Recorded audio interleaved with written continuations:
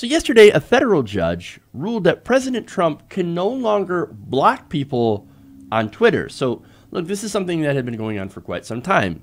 President Trump is notorious for blocking people who he disagrees with. Right? Oh, you say that Obama is one of the greatest presidents uh, in history? But he's not. But I'm just using that as an example. Block, block, block, block, block, block, block, block.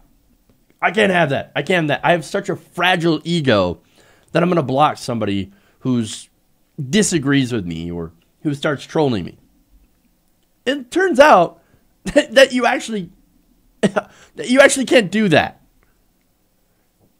because it look uh, Twitter, his personal Twitter account, which is his presidential account now, is now part of public record, and as president of the United States, there are laws that say that look. Uh, this this uh, whatever communications that you put out, they're part of the public record. They have to be saved, which means that you can't block certain people. Now, let me get to the details of this. Judge Naomi Reice Buchwald of the U.S. District Court of the Southern District of New York said that President Trump's Twitter account is public, in is a public forum, and blocking people who reply to his tweets with differing opinions constitutes viewpoint discrimination. That, of course, is a big violation of the First Amendment. Now, uh, of course, let me give you some information on who brought this suit. Um, the Knight First Amendment Institute at Columbia University brought the lawsuit on behalf of seven people who were blocked from the real Donald Trump account because of opinions that they expressed in tweets uh, replying to him. I do not have any examples of those tweets. Uh, Buchwald, who was appointed by former President Clinton, rejected uh, Trump's argument that the First Amendment does not apply in this case and that the president's first, uh, personal First Amendment interests supersede those of the plaintiffs. Uh, so, she wrote a 75 page opinion, and she suggested in it that Trump simply could have ignored it. Oh, look, I get trolled all the time. Do I ignore it? Yes. Sometimes I don't. Sometimes I like to engage. I don't think that I've really blocked anybody. And maybe a couple of mutes, because it always is a little bit fun to to just think about somebody who's talking essentially to themselves and you don't have to see it. That's fun. Uh, but block, no. I don't think I've blocked anybody. I would be very, very surprised if I have. Uh, now, let me read some of her opinion, right? Now, she says no First Amendment harm arises when a government challenged conduct is simply to ignore the speaker, as the Supreme Court has affirmed that it is free to do.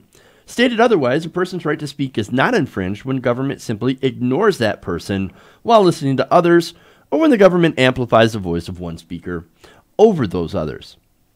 Buchwald explained that blocking someone on Twitter goes further than just muting them.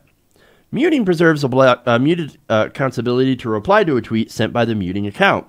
Blocking precludes the blocker from using uh, I'm sorry, the blocked user from seeing or replying to the blocking user's tweets entirely.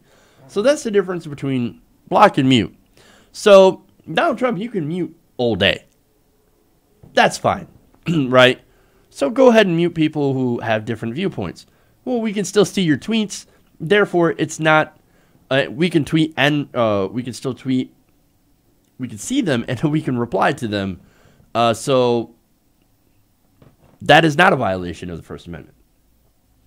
Um, but blocking obviously is.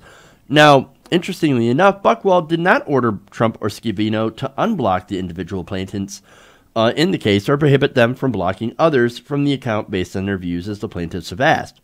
She said that a de- declaratory judgment should be sufficient. And let me go to the statement on that.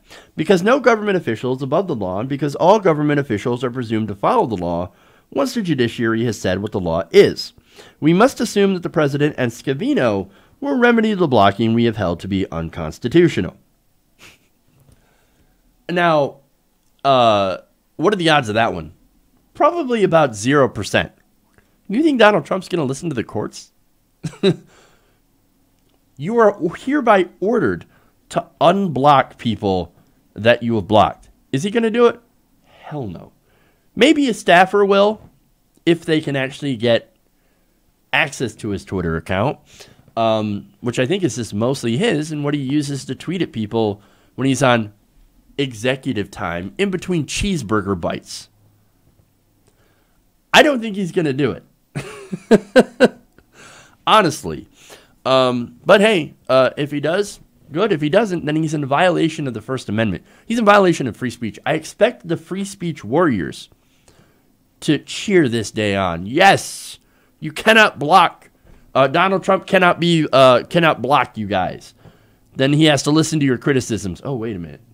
No, they're not going to be in favor of that. I would be very, very surprised. Uh, now, one more thing here. Uh, this comes from Jameel Jaffer, director of the Knight First Amendment Institute, uh, which, let's see, uh, which the Knight Josh Geltzer, I, I don't think I have the right quote on here, but okay. We'll skip that because um, that, that was actually cut off. Uh, let's go to another quote here. Josh Geltzer, who was the executive director of Georgetown Law Institute for Constitutional Advocacy and Protection, uh, he said that the court's ruling is a critical victory in preserving free speech in the digital age. He said the court's thorough decision recognizes that the president's use of real Donald Trump on Twitter makes the type of public forum in which the government may not, under the First Amendment, silence its critics. So that is awesome. Uh, kind of a funny case, uh, but also a victory for the First Amendment. How Trump's going to take it, well, I'm pretty sure he's not going to be happy because now he's actually got to face real criticism. Hey, everybody, thanks for watching this video. If you want to see more like this, please hit the subscribe button below. And if you want to support truly independent progressive media, please consider becoming a patron at patreon.com slash tytnation.